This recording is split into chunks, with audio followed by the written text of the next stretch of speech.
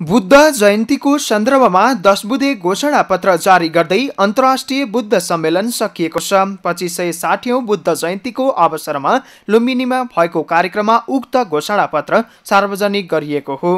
नेपाल सरकारको आयोजनामा भएको उक्त कार्यक्रममा पर्यटन मन्त्री आनन्द प्रसाद पोखरेलको संयोजकत्वमा काठमाडौँमा दुई दिनसम्म भएको अन्तर्राष्ट्रिय बौद्ध गोष्ठीको दस बुधे घोषणा पत्र जारी गरिएको हो। दस बुधे घोषणा पत्रमा विश्व शान्तिका लागि बुद्धको सन्देश चर्चा गर्दै लुम्बिनीको विकास र प्रचारमा जोड दिनुपर्ने बुद्ध नेपालको लुम्बिनीमा नै जन्मेको कुरामा विवाद नभएकाले लुम्बिनी गुरु योजना पुरा गर्दै तिलौरा कोट कुदान देवदह Noah रामग्रामको विकासमा जोड दिनुपर्ने ग्रेटर लुम्बिनी योजना बनाएर लुम्बिनीलाई शान्ति सहर बनाउनेतर्फ नेपाल सरकारले जोड दिनुपर्ने उल्लेख गरिएको छ।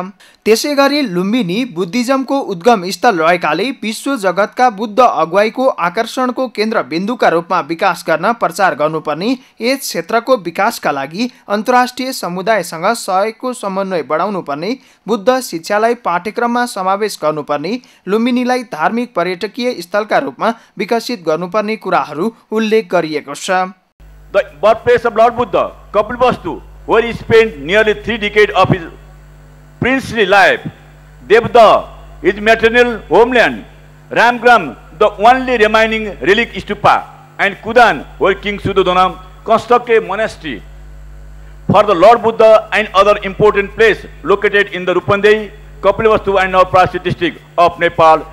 in order to materialize the vision of Greater Lumini Development Plan.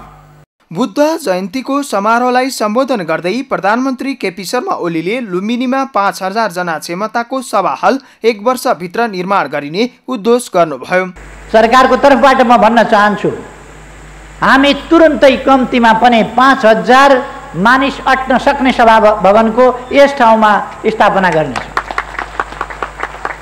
यदि सम्भव भयो निर्माण गर्न भने एक वर्षभित्रै सम् हामी निर्माण गर्छौँ। र यदि निर्माण गर्दै जाँदा ढिलो भयो भने सकेसम्म छिटो गरेर हामी निर्माण गर्छौँ। यस यसका निम्ति म साथीहरूलाई आग्रह गर्न चाहन्छु। उक्त समारोहलाई सम्बोधन गर्दै नेकपा माओवादी केन्द्रका अध्यक्ष पुष्पकमल दाहालले लुम्बिनीलाई विश्वमा चिनाउन संयुक्त राष्ट्रसङ्घका महासचिवलाई लुम्बिनी ल्याउन आफू ग्रेटर लुम्बिनीको संयोजक बनेर उच्च स्तरमा योजना अगाडि बढाएको दावी गर्नुभयो। त्यस्तै काङ्ग्रेस सभापति शेरबहादुर देवालले बुद्धको सन्देशलाई विश्वभर अझ व्यापक बनाउन सरकारले वातावरण तयार पार्नुपर्ने धारणा राख्नु भएको थियो। सगरमाथा टेलिभिजनका लागि क्यामेरामा प्रताप लामाका साथमा बाबुराम तिमिल सिन्हा काठमाडौँ।